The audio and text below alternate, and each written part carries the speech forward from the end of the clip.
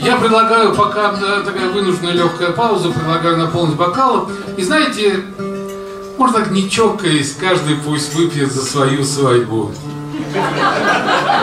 Первую. А кто-то чокаясь за вторую. Вы знаете, однажды э, в театре эстрады в Питере мы выступали с Женей, и я решил провести такое социологическое исследование. Я говорю, поднимите руки, кто счастливо женат первым браком. Ну, там такой лес, там человек 10. Я говорю, а кто дважды вошел в одну и ту же воду? О, тут человек 30 уже, потому что, ну да.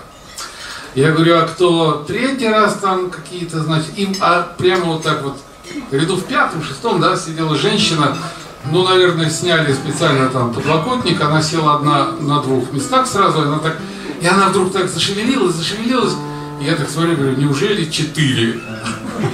Она говорит, завтра, это будет завтра. Так что есть еще радостные события какие-то в жизни у человека. Что-то я не слышу, так это глотание редко такого. Выпили. Какая-то тишина пала внезапно в зале. Ну, что уж теперь-то думать, господи, думать раньше надо. Наверное, люди боятся Четыре много или мало? Четыре в самый раз.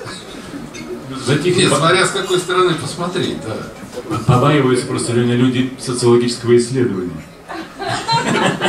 Ну, поэтому тьма и сгустилась. Ну, давай, сонец номер два.